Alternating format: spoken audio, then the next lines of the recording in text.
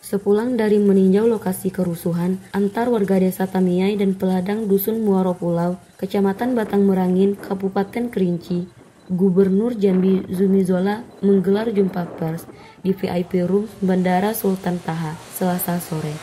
Didampingi Kapolda Jambi, Brigjen Yazid Fanani, dan Danrim 042 Garuda Putih, Kolonel Infanteri Refrizal. Uh, memang ketika kita sampai di sana, uh, masih terasa suasana uh, yang kurang mencekam lah gitu ya.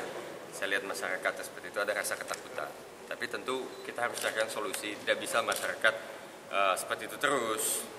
Nah kemudian juga nama Kerinci yang kita dorong, kita sedang upayakan dengan kerja keras supaya pariwisatanya itu meningkat, wisatawan meningkat. Dengan kondisi ini siapa yang mau datang? Kan gitu, banyak yang rugi. Gubernur, Kapolda, dan Danrim sudah menyepakati kondisi ini harus cepat kondusif. Dari kota Jambi, Yudi Pramono melaporkan.